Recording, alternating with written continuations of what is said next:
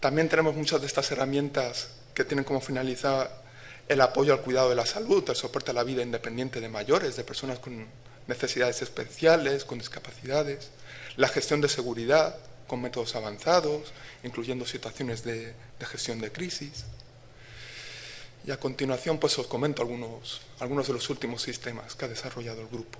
Tenemos, por ejemplo, en cuanto a tecnologías de movilidad, de localización y procesado de vídeo, pues hemos desarrollado recientemente una aplicación móvil que detecta pues lo que os comentaba como casos de urgencia, situaciones, de, situaciones eh, críticas, perdón, como por ejemplo que un coche esté en una autopista circulando en modo kamikaze. Pues esa serie de cosas puede detectarlas de la forma más rápida y eficiente. O por ejemplo, también en cuanto a tecnologías de movilidad, de servicios a la ciudadanía, en este caso para el entretenimiento, pues tenemos como aplicados al campo de los videojuegos, pues un sistema para poder manejar los videojuegos de forma virtual, sin utilizar ningún, ningún joystick, sin utilizar ningún, ningún mando, directamente moviendo, por ejemplo, las manos. O también un sistema que podéis encontrar también en la base de, noticias de la información con mucho más detalle, este sistema para la mediación jurídica, para apoyar lo que sería eh, evitar llegar a juicio, pues Aquí lo veis también, es un sistema web pensado también para personas con, discapacidad. También en cuanto al seguimiento, la línea que os comentaba del seguimiento de usuarios, pues tenemos un sistema eh, que también podéis consultar en la base de noticias de la universidad que está orientado al rendimiento deportivo, a poder, por ejemplo, en un partido de baloncesto hacer un seguimiento de los jugadores y luego poder hacer un análisis de la valoración del rendimiento, de, cada deportista, asesorarle un poco en las, en las cosas que debe mejorar, en, en cómo ha sido su evolución durante el partido. Y luego, por último, también tenemos una línea del grupo que va orientada también en conjunción con, con otros grupos en la universidad, el grupo Caos, por ejemplo, pues sería la aplicación de las tecnologías del habla y el procesamiento del lenguaje natural a este tipo de sistemas. Entonces, los trabajos que hemos llevado dentro de este área, dentro de estas líneas, van sobre todo orientados a, los puntos que veis en la transparencia, la aplicación de métodos estadísticos para la gestión de sistemas en los que interactúas mediante la voz, los sistemas de diálogo, luego el modelado y la simulación de usuario para hacer sistemas que estén adaptados al usuario, que se comporten de forma distinta dependiendo del conocimiento que tienen de nosotros, la combinación con estándares en este mundo de las tecnologías del habla, sobre todo sobre todo el, estándar Voice XML, por ejemplo, que es el definido por el W3C para la interacción oral con contenidos en Internet, la conjunción de la voz con otras modalidades, en lo que se denomina sistemas multimodales, y la adaptación al contexto, de tal forma que agrupemos varias líneas de que os he comentado del grupo, de la interacción oral y, por ejemplo, lo que sería una adaptación al entorno en el que el usuario está, está utilizando el sistema.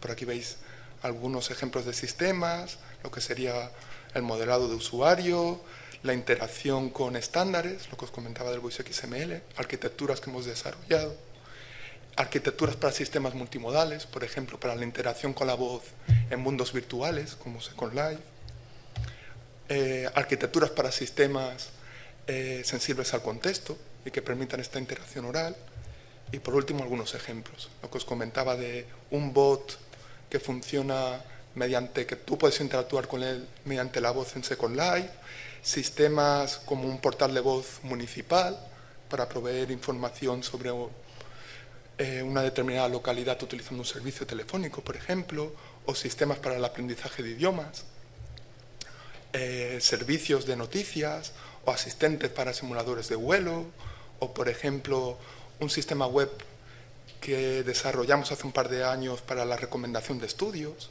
para la realización de encuestas mediante la voz, o para la planificación de viajes, o para la recomendación de películas, o interfaces orales a diferentes servicios de Internet, como por ejemplo Google Maps, poder conocer mediante el móvil con la voz, por ejemplo, el guiado entre dos calles.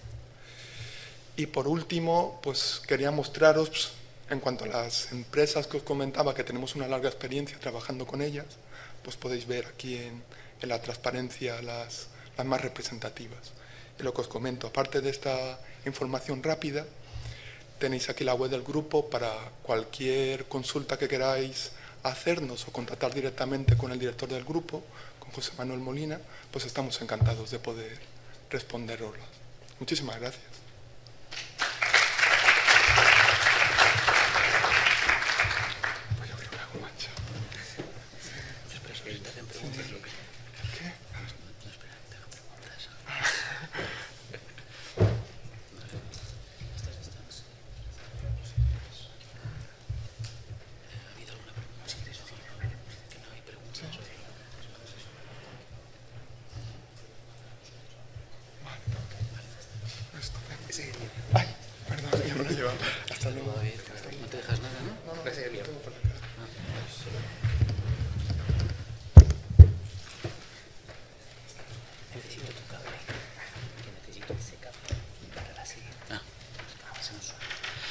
Bueno, buenos días a todos. Eh, igual que David, agradezco a, los organizadores que sé que, han hecho un gran esfuerzo por organizar estas eh, sesiones. Eh, yo soy Daniel Borrajo y voy a presentar el grupo que coordino, que se llama Grupo en Planificación y Aprendizaje. bueno, básicamente sobre lo que trabajamos es, como dice el nombre del grupo, por un lado, temas relacionados con planificación, de cómo eh, generar secuencias de acciones para que o bien humanos o bien eh, ordenadores o robots se realicen. Y por otro lado, cómo podemos aprender a partir de la, interacción. Por cierto que está, falta ahí una A en learning. Eh, a ver. Eh, bueno, como datos generales, el, grupo está dentro del Departamento de Informática. El Departamento de Informática está estructurado en tres, grandes grupos. Entonces, nosotros formamos parte del grupo que se dedica a inteligencia artificial. Y dentro del grupo de inteligencia artificial, nuestro grupo se llama PLG y somos alrededor de, 20 miembros. Eh, ahí tenéis algunos números. Realmente tampoco, me imagino que la mayor parte de vosotros no os va a decir mucho, pues el número de artículos o de o de conferencias en las que hemos participado. Eh, somos alrededor de, ya digo, de 18 20, 20 miembros, entre doctores y, no doctores, y bueno, pues llevamos una trayectoria de, eh, generación de proyectos de investigación y, de publicación. También eh, tenemos bastante, una relación bastante intensa con, con, el extranjero, con grupos que trabajan en los mismos temas que nosotros. Estos son simplemente algunos, no, voy a entrar en más detalle respecto a ellos. Son eh, grupos con los que hemos trabajado y con los que hemos hecho, eh, los, grupos, los miembros del grupo han hecho estancias. Y sí me voy a centrar en, mostrar eh, algunos de los proyectos en los que hemos ido trabajando en el tiempo eh, en cualquier caso, mañana daré una charla, esto es promoción de la, charla de mañana. Mañana daré una charla en, la sala de audiovisuales, más concretamente sobre los temas, sobre un poquito más técnico, muy de divulgación sobre, las, sobre qué es eh, planificación, que a lo mejor es un área que no se conoce mucho. Y bueno, pues por comentar algunas de las, de las aplicaciones en las que hemos estado trabajando junto con, empresas. Eh, Quizás una de las primeras que, realizamos con empresas fue un, proyecto en el cual eh, planificamos la secuencia de operaciones de mantenimiento de satélites. Todos los satélites que están en marcha eh, tienen que realizar una serie de operaciones al cabo del año para, eh, comprobar que están funcionando correctamente. lo hicimos junto con, Ispasat, que es la, empresa española que gestiona los satélites españoles, y con la Universidad de Alcalá. Eh, y bueno, pues hicimos una herramienta que era capaz de, hacer esa planificación en, minutos, cuando normalmente pues, suelen tardar alrededor de una semana en hacer toda la planificación anual. Eh, más adelante trabajamos con Ericsson en un proyecto en el cual eh, ellos estaban preocupados por el tema, lo que se conoce como data mining, es decir, análisis de grandes cantidades de datos, el problema que surge aquí o que ellos tenían era que pues, eh, ellos tenían su, base de datos con un montón de datos referentes a diferentes aplicaciones y el problema aquí es qué secuencia de acciones, de las múltiples secuencias de acciones que se pueden realizar sobre una base de datos, eh, a la hora de hacer análisis de esos datos, pues eh, qué secuencia de acciones había que realizar para una determinada base de datos, con un determinado objetivo. Entonces, bueno, pues eh, lo que hacíamos era generar una herramienta que automáticamente eh, determinaba qué combinaciones de las múltiples técnicas que hay, que no voy a entrar en detalle, pero aquí hay un montón de técnicas que se pueden utilizar para hacer análisis de datos, eh, cuál de qué secuencia de esas acciones era la, más adecuada para la base de datos que tenían ellos en concreto. posteriormente hicimos un proyecto con Acción a Mediterránea, que, en el cual, bueno, fundamentalmente se dedicaba a temas, o sea, el problema, el problema que había que tratar era un problema de, transportes, de, la logística de transportes. Eh, diariamente ellos eh, reciben alrededor de 300 peticiones de mover cosas de un sitio a otro, bienes, eh, productos, mercancía en general, tienen que moverla de un sitio a otro, pues suponer que tienen que recoger una, unos, eh, unas, eh, algo mecánico aquí, en esta localidad, luego tienen que dejar parte de, de esos productos aquí y luego tienen que recoger parte de aquí, en esta otra localidad, luego tienen que llevarlo a, un, a un, puerto, que puede ser o bien Barcelona o bien Valencia, y llevarlo a Palma de Mallorca. Entonces, eh, reciben alrededor de 300 peticiones de, de este estilo, que es un problema pues, muy grande, combinatorio, eh, pueden utilizar camiones, eh, eh, trenes y, barcos y tienen que, había que establecer la, ordenación pseudo óptima para poder realizar eso con el menor coste posible. Entonces, bueno, pues también generamos una herramienta que, podían manejar para poder hacer esa planificación diaria. También llevamos algunos años trabajando en, otro tema eh, diferente, que es un, simulador empresarial, junto con una empresa que es un spin-off de, la Universidad Autónoma de Madrid, eh, que fundamentalmente se, encargan de, hacer eh, simulación empresarial a efectos de fundamentalmente docentes, pero docentes no solo desde el punto de vista de grado o de, licenciatura, sino también másters y formación en empresas.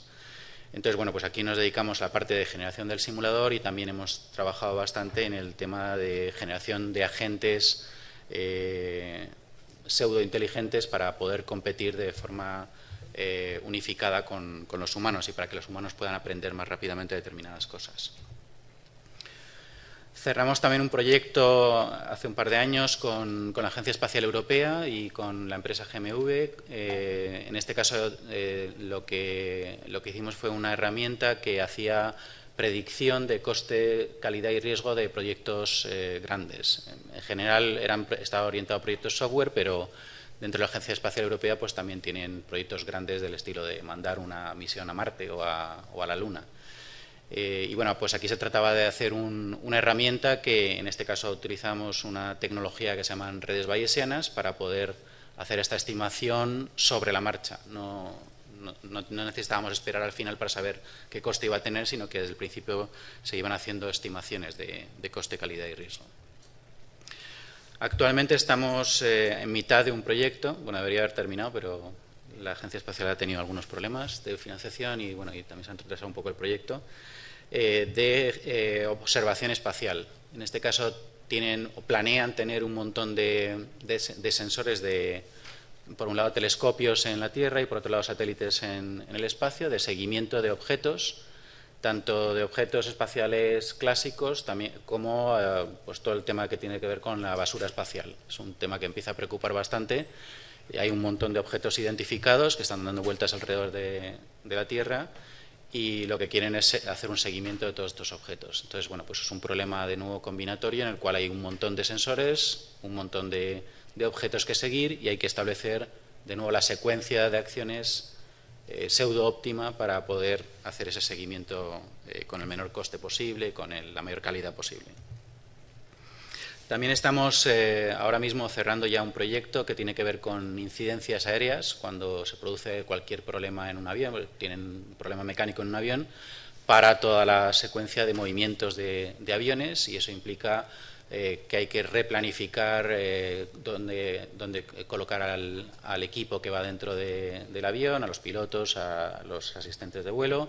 hay que realizar las operaciones de mantenimiento planificar las operaciones de mantenimiento, etcétera, etcétera. Entonces, estamos terminando una, aplicación con una empresa que se llama Goal Systems, que se dedica fundamentalmente a hacer eh, eh, planificación horaria de, y está establecida por todo el mundo de, autobuses, de trenes y ahora de, líneas aéreas. Y bueno, pues estamos en, la parte de lo que es el, resolvedor de problemas, el, núcleo de la aplicación. También estamos finalizando un proyecto con, con, Alsa, con una empresa que se llama Minube, que es un portal de, viajes y aquí lo que estamos haciendo planificación turística, estamos recomendando eh, planificación turística de acuerdo al perfil del usuario y de acuerdo a, lo que sugieren otros usuarios similares al, usuario. Y, de nuevo, pues eh, aparece la palabra planificación porque es una secuencia de acciones. Primero vas a tal sitio, visitas tal zona, luego eh, te sugiero que comas en tal sitio, etcétera, etcétera. Y en cuanto a la recomendación, también eh, estamos cerrando otro proyecto con, una empresa que, es un portal de libros, de recomendación de libros, y nosotros estamos en la parte de recomendación, de nuevo. Eh, y de nuevo, pues el recomendar libros pues depende del perfil del usuario. Esto es un, tema un poquito más estándar y bueno, hay muchas otras eh, plataformas en Internet que sabéis que, que, os recomiendan cosas cuando compráis en ellas. ¿no? Y por último, estamos trabajando también en, robótica. Eh, tenemos eh, un par de robots eh, que se llaman humanoides, que tienen forma humana, como, es el NAO. También tenemos otro par de robots que no son humanoides. Y, estamos interesados en la, parte de nuevo de planificación de, las acciones del, robot. Una vez que está resuelto el tema de, o semi resuelto el tema de dónde está el robot y de qué es lo que está viendo, pues el que sea capaz de generar secuencia de acciones para resolver problemas. Y bueno, pues si queremos que vaya a tal sitio, coja determinadas cosas y nos las traiga, pues que sea capaz de, realizar esa secuencia de acciones. Bueno, pues por mi parte nada más. Muchas gracias por vuestra atención y os dejo con.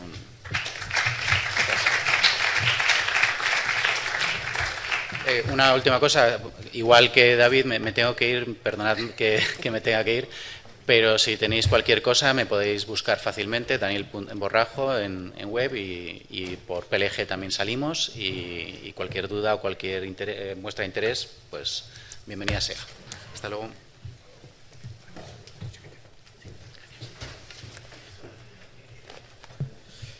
Bueno, pues mientras preparamos eh, los portátiles para Yago y para Agapito, eh, bueno, recuerdo que cuando vayáis a salir, pues está el área de patrocinadores a la que podéis eh, dejar acercaros, informaros y si queréis dejar vuestros currículums, pues por si que tenéis algún interés en trabajar en alguna de esas empresas.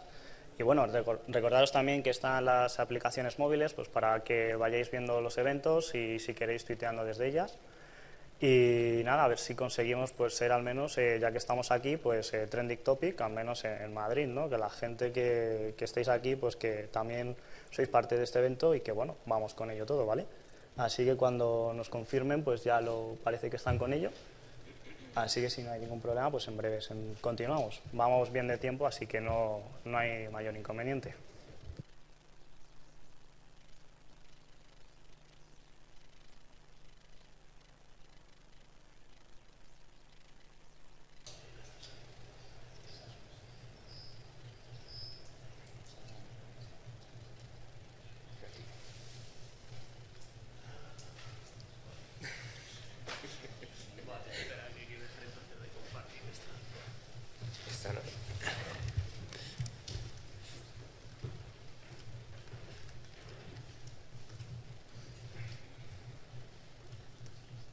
Y bueno, también podéis, eh, si queréis, aprovechar los, los, networkings y los coffee breaks para hablar con, con los profesores que estén por, por, allí, ¿vale? O con los patrocinadores o los ponentes, pues es la, la, ocasión idónea. Si queréis alguna, preguntarles alguna cosa más específica que a lo mejor no os haya quedado claro durante sus charlas o que queréis profundizar, pues que sepáis que durante ese tiempo pues podéis hablar con ellos y sin ningún problema pues estar allí, pues nada, compartiendo opiniones e intercambiando pues información, ¿vale? Así que pues ya parece que ahora sí está. Ahí tenemos a Colmenarejo, ¿vale?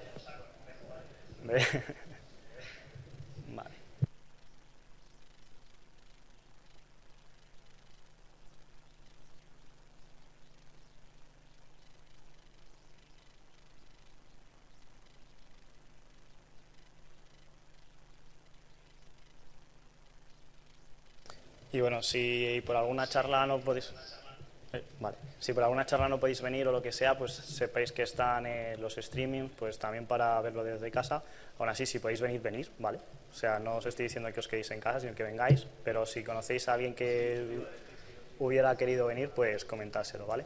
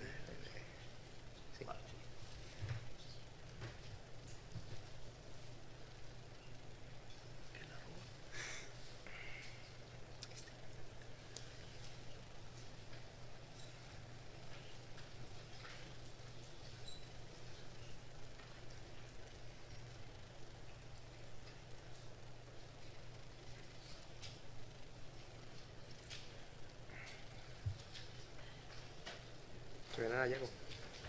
Sigue allí, sí. Déjatelo. Vale, aquí.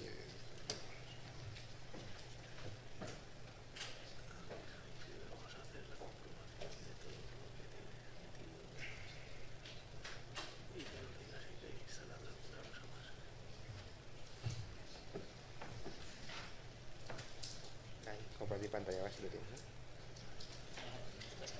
No, pero ahí, no va a salir, pero... Está bien, está arriba ya. Ah, ah, vale.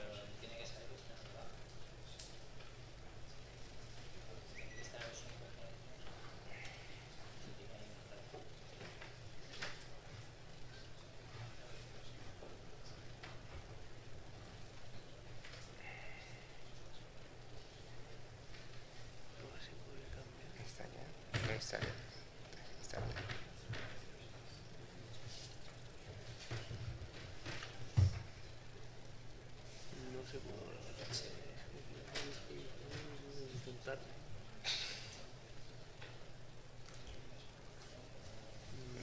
Tampoco, falta. Acá tampoco va, ¿eh?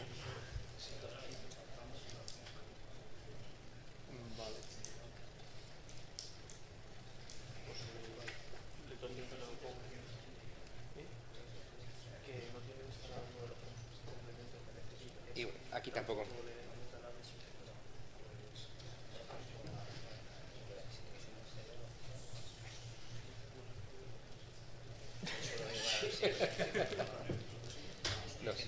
Igual que el mío, o sea que... Pues aquí está. No, no hay nadie, o sea que no hay nadie en Colmen. Pues entonces ya está, o sea que... vale.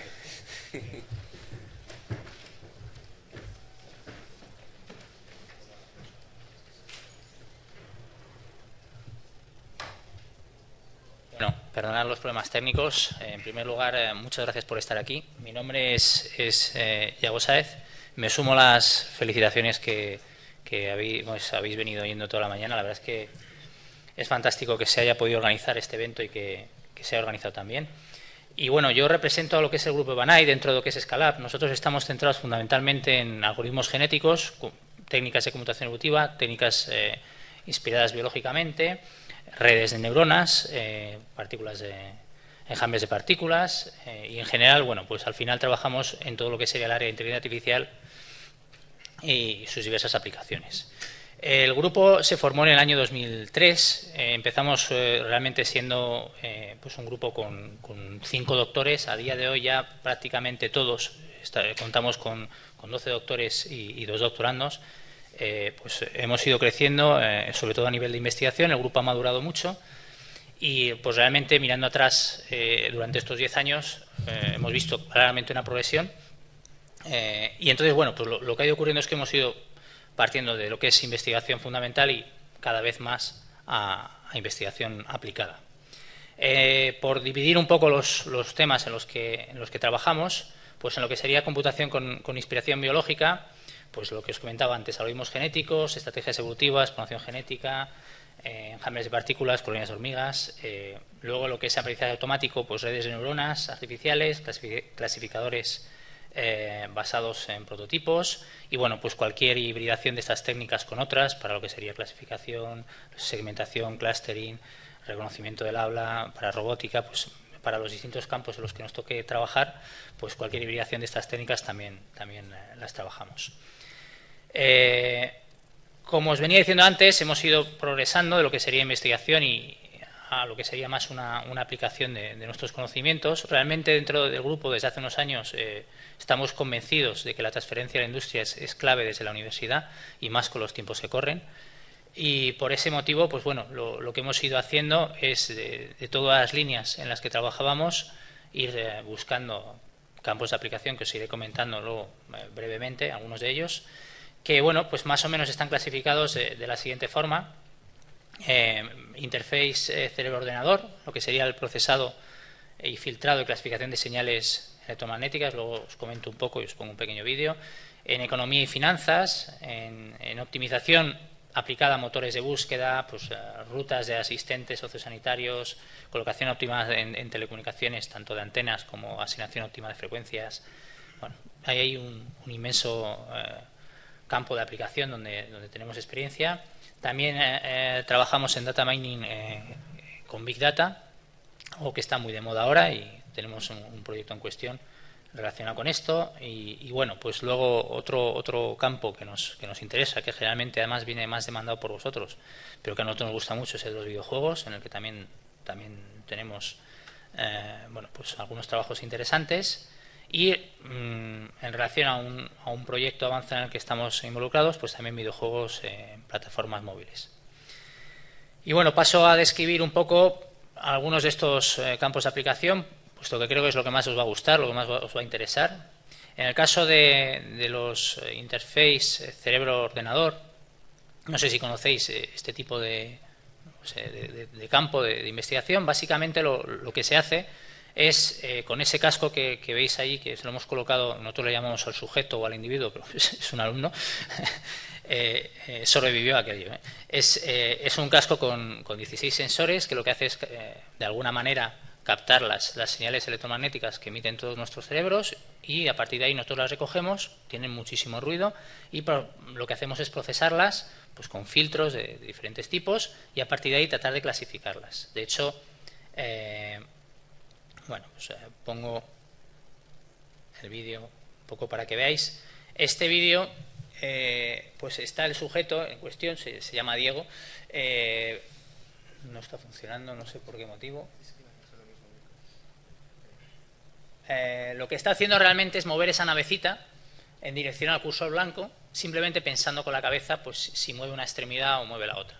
Entonces, bueno, el, índice de aciertos estaba entre un 80, un 90%, depende mucho del ruido que haya en la sala, depende mucho de, la capacidad de concentración de, quien esté haciendo el, ejercicio, en este caso este chico era, muy bueno, y realmente lo único que hace es o avanzar o girar. Entonces, eh, como solamente puede girar en una dirección, como veis, de vez en cuando tiene que hacer el giro completo, pero bueno, si, veis el vídeo, eh, acaba llegando siempre al objetivo, a veces tarda más, a veces tarda menos.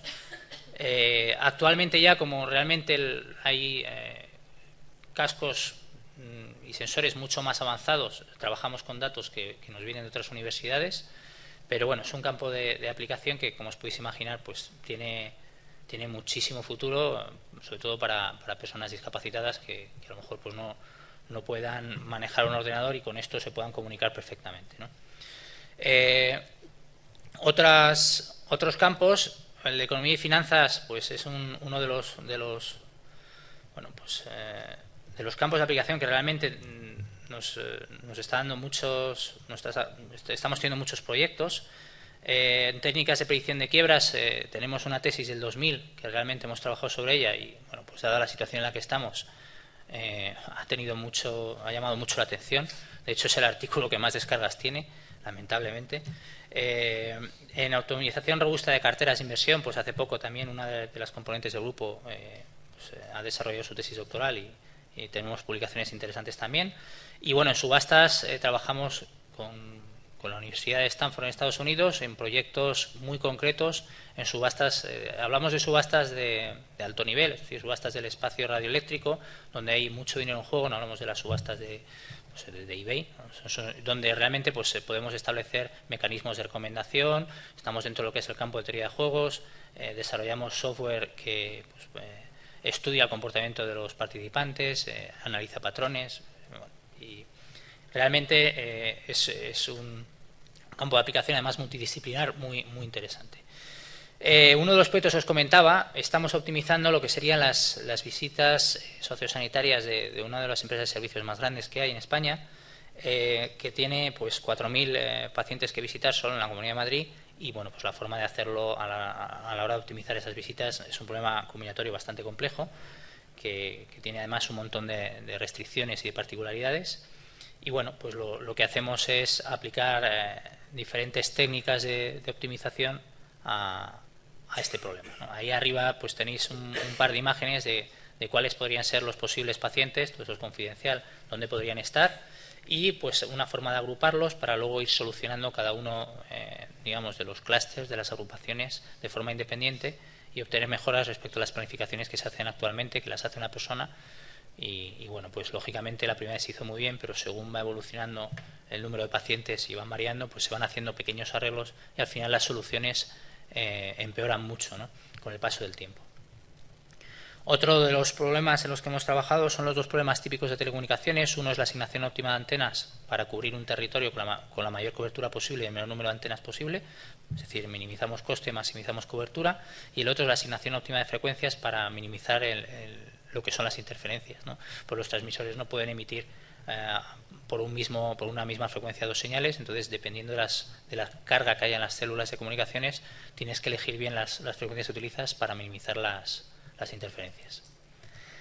Y bueno, ya paso realmente a la zona que seguro que os eh, divierte mucho más, de luego a nosotros sí, que realmente además es un campo de aplicación que viene más dado por vosotros. En general son trabajos dirigidos, trabajos de fin de carrera, ahora ya trabajos de fin de grado, que acaban siendo pues líneas de investigación y en, algunos casos pues con, publicaciones. En este caso, en, la parte digamos de la izquierda de la pantalla, eh, veis una, carrera donde presentamos un controlador eh, que conducía cualquier circuito que, al que le presentaras. Nuestro coche, si no recuerdo mal, era el naranja.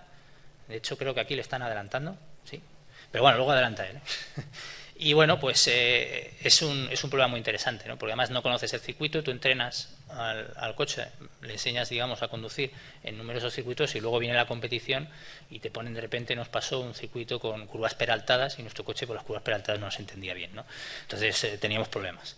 Todo esto nos, pues es un, mecanismo iterativo de aprendizaje donde, donde pues, eh, las cosas han, ido mejorando. ¿no?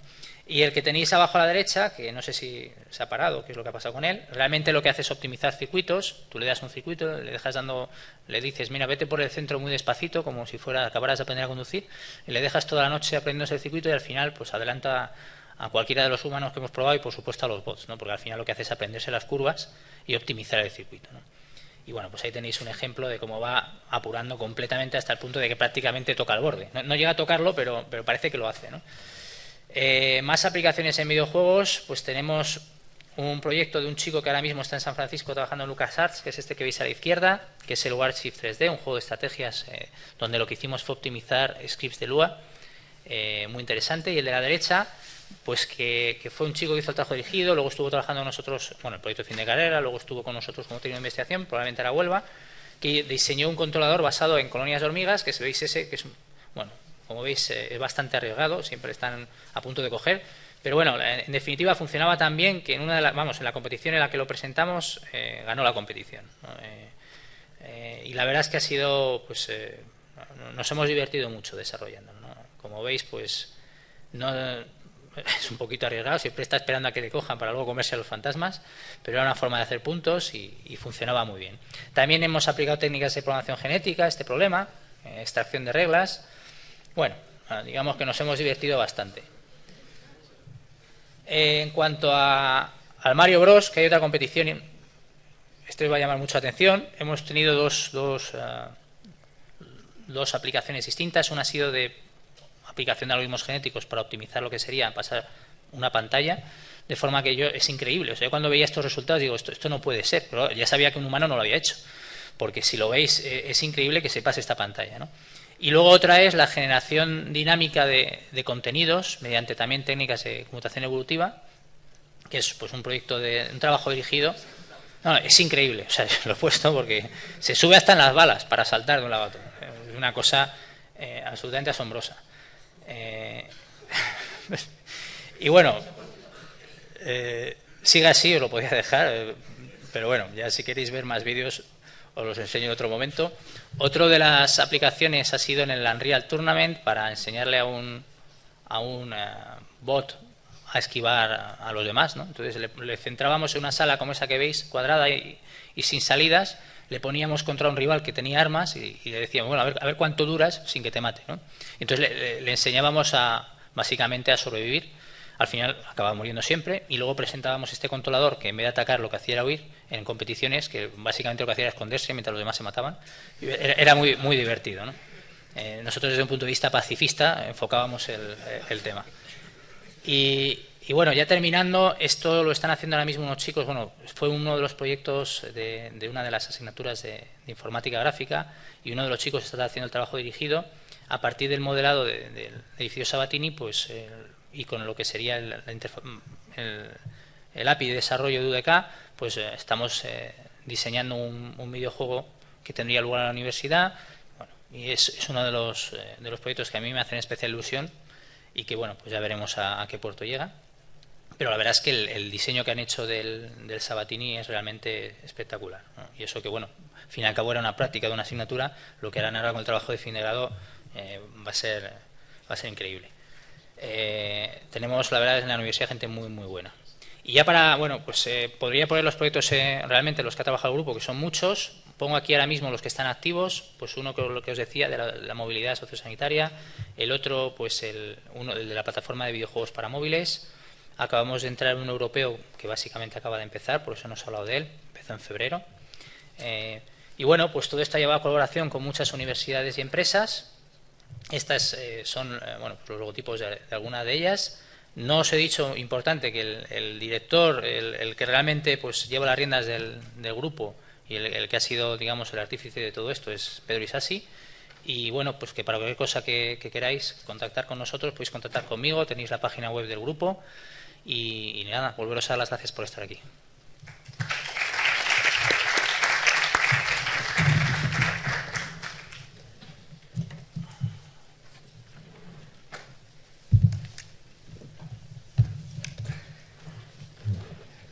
Tú sí te quedas, ¿no? Tú sí te quedas.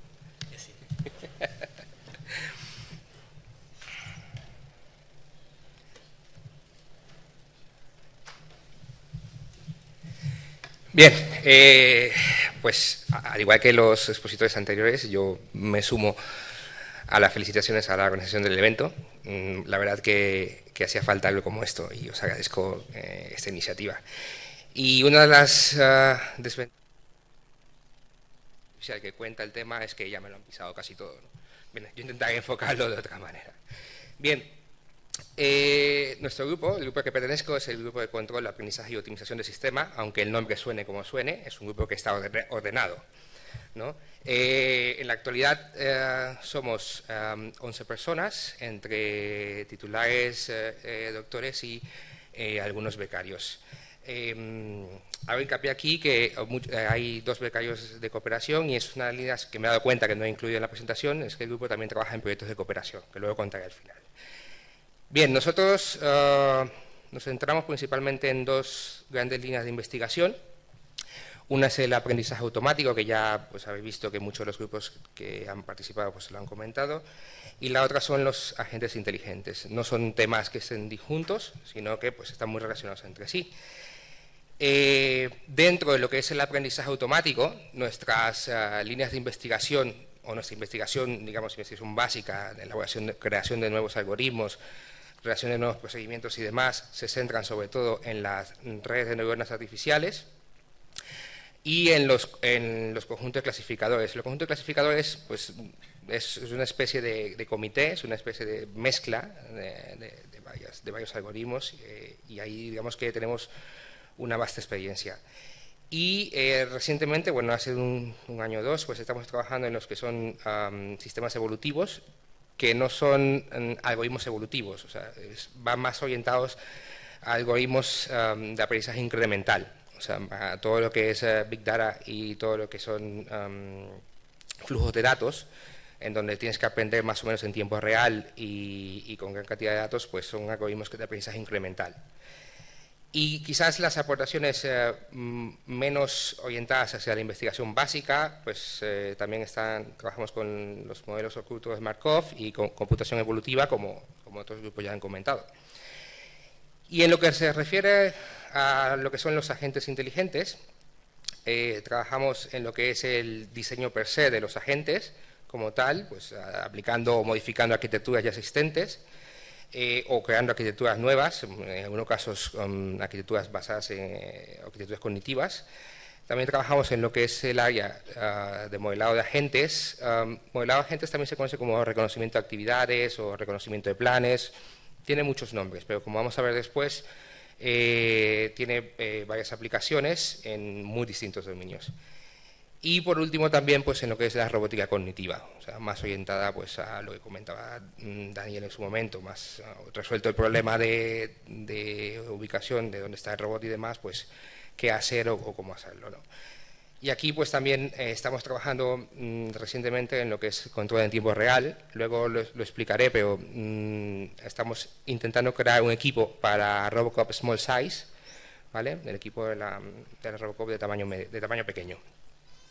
Bien, estas líneas de investigación confluyen en, varios dominios de aplicación, ¿vale?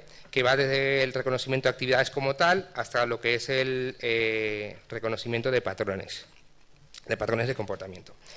Bien, veamos entonces eh, lo que es el reconocimiento de actividades. Como, os dije, la idea básica que, subyace por detrás de, este, de estas aplicaciones es saber lo que está haciendo el otro o los otros, ya sea personas o robots. ¿vale? En todo caso, me interesa saber qué está haciendo en función, por ejemplo, de predecir eh, qué va a ser. Imaginaos si estáis jugando, por ejemplo, al póker, como es el caso que contaré más adelante, pues si sabéis lo que va a hacer el, jugador contrario o el buen contrario, pues sabéis cómo actuar, ¿no? O, por ejemplo, si queremos saber eh, o analizar patrones de llamadas telefónicas, ¿no? Para saber qué está haciendo la gente, también lo podemos hacer. Bien, como os comentaba, eh, uno de los dominios que hemos ah, trabajado es, por ejemplo, cómo identificar a una persona solamente a partir de los comandos que teclea en una shell. ¿Vale? A partir del análisis de lo que sería el bash history o algo similar, los comandos que teclea en una shell, pues identificar qué persona es. ¿Vale? Esto está muy relacionado con lo que es el clipstring analysis, ¿no? que es lo que ahora está más de moda, que es básicamente a través de los clics que haces en una página web o cómo navegas, ser capaz de identificar a, la persona que está navegando, sin user y sin password, claro está. ¿no? Esto pues es un proyecto, eh, es una idea ya muy antigua que, que data del año 2003, cuando después de los atentados del 11S, el gobierno federal de Estados Unidos creó un, proyecto llamado TIA, Total Information Awareness, ¿vale? que entre sus líneas estaba esta. ¿no? Bien, entonces lo que nosotros hacemos es, a partir de de los de los comandos que teclea el usuario, decir, pues señor, el que está aquí delante del ordenador es esta persona. ¿vale? Eso lo podemos mm, utilizar para detección de intrusos, o por ejemplo para tutoriales inteligentes, para saber qué persona está o qué tipo de persona está delante, y saber pues cómo ayudarle en, la tarea que está haciendo. Otra área de aplicación mm, de este tipo de algoritmos que desarrollamos son eh, el modelado de comportamientos en llamadas. En este caso, pues se han analizado eh, llamadas desde el Reino Unido, ¿vale? Y la idea es, pues, identificar patrones de comportamiento. Esto mm, es un proyecto que en su momento eh, se vendió como para detectar posibles anomalías en, llamadas en comportamientos de personas, bueno, para hacer vigilancia de personas también. Eh, nosotros no llegamos a eso, nosotros solamente creamos los clústeres y decimos, pues esto es lo normal, esto es lo que no es, etcétera, etcétera otra aplicación en lo que es el reconocimiento de actividades, eh, y esto es fruto de un proyecto de fin de carrera, es el, modelado de jugadores de póker. Esto eh, es una competición internacional que se lleva a cabo todos los años en el marco de la QOI, y la idea es crear un bot pues, que sea capaz de, jugar al póker, ¿no? Y analizando jugadas. En este caso, lo que nos eh, motivaba a nosotros era el modelado. O sea, crear una, mm, digamos, dentro de la gente, dentro del bloque que teníamos, teníamos un, módulo especial dedicado solo a modelar el comportamiento de los demás jugadores. ¿Vale? Para saber eh, realmente lo que estaban haciendo y en función de eso, pues hacer nuestros movimientos. La verdad es que eh, los resultados que obtuvimos fue mejor de lo que esperábamos. Mm, eh, enviamos el jugador a, la Universidad de Alberta para que se evaluara y nos dieran los resultados. Evidentemente no fue capaz de ganarle a los campeones, pero su comportamiento no, fue malo. Entonces ahí estamos todavía pues, pensando en continuar este trabajo, porque la verdad es que el modelo que obtuvo era bastante bueno. Y eh, los resultados pues, eran, muy prometedores. Otro dominio de reconocimiento de actividades es, se marca en un proyecto que tenemos actualmente, un proyecto europeo, que es el reconocimiento de actividades físicas, es decir, lo que está haciendo la persona en un determinado momento. Y en este caso no, lo que hacemos es, a través del móvil, a través de su móvil, en una aplicación que se desarrolló en el grupo, pues eh, con que tenga el móvil en el bolsillo, ¿vale? sabemos si la persona está caminando, si está corriendo, si está subiendo escaleras, si está bajando, ¿vale? todo eso pues monitorizado, como podéis ver abajo, a través de una aplicación Android. Entonces la idea, eh, digamos, este proyecto se marca un proyecto más grande, que la idea es promover hábitos saludables en personas de, a partir de 40, 50 años más o menos. Entonces, ¿cómo monitorizas a esas personas? Pues utilizando uh, un dispositivo que, puedan tener encima y que no sea intrusivo, en este caso pues un, móvil. ¿vale? Y a través de eso pues podemos monitorizar eh, lo que está haciendo. Otra área de aplicación de reconocimiento de actividades es a través del de, modelado, el modelado de, comportamiento de personas a través de redes de sensores. Es decir, como ya pues ah, habéis visto, el tema de, digamos, seguimiento, de acompañamiento de personas mayores o de personas enfermas es un tema que es muy actual. En este caso lo que hacemos nosotros es utilizar información de los sensores distribuidos en una casa, en un apartamento, en un piso, etcétera, en una residencia, pues a través de esa información que reciben los sensores, pues saber dónde está la persona en cada momento y qué está haciendo, o intuir qué está haciendo, o inducir qué está haciendo. Eso pues también entra dentro del marco del proyecto europeo. Y otro proyecto que estamos llevando a cabo en la actualidad es el, reconocimiento del comportamiento del conductor. ¿vale? es decir, eh, a, partir de la información que nos dan unas cámaras, en este caso eh, son cámaras que están ubicadas mirando hacia el conductor, ¿vale? Eh, mirando hacia el conductor y otras mirando hacia afuera, saber exactamente qué está haciendo y si lo está haciendo bien. ¿no? Para eso tenemos que tener en cuenta, por ejemplo, cómo debería ser una buena entrada a una rotonda, por ejemplo, o cómo debería ser una aproximación a un paso peatones. Para eso tenemos que crear una secuencia eh, de acciones, ¿vale? Y eh, estamos trabajando pues con ontologías de dominio para saber exactamente lo que está haciendo y si lo está haciendo bien o lo está haciendo mal. Entonces, una cosa eh, muy importante es que una gran parte de los accidentes de tráfico hoy en día son a causa de la distracción. Entonces, lo que busca este proyecto es al final es detectar ese tipo de distracción y advertir al conductor, oye, que mira hacia adelante que, estás conduciendo. ¿no? Para ello, eh, hemos desarrollado mm, hasta... Eh, eh, por ahora estamos desarrollando, porque claro, nuestra idea es poder utilizar eh, los algoritmos que trabajemos aquí, tanto, tanto la parte de, eh, reconocimiento de actividades como la parte de, agentes, utilizarlo un coche real, que luego los mostraré eh, alguna colaboración que tenemos. Pero claro, no podemos probar los algoritmos de detección de peatones o los algoritmos, por ejemplo, directamente en el coche real, ¿no? tenemos ahí una peligrosidad que, añadida. Entonces, para eso hemos creado un simuladores, ¿vale? Que en este caso es una versión inicial ah, de, lo que es un, de lo que es un parking. En este caso estamos, aunque no se parezca mucho, intentando modelar el, centro comercial del Parque Sur, porque sus estacionamientos